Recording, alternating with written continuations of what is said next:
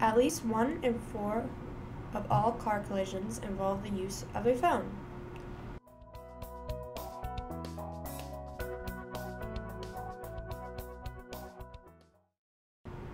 If you can't read a book in text, then you shouldn't text and drive.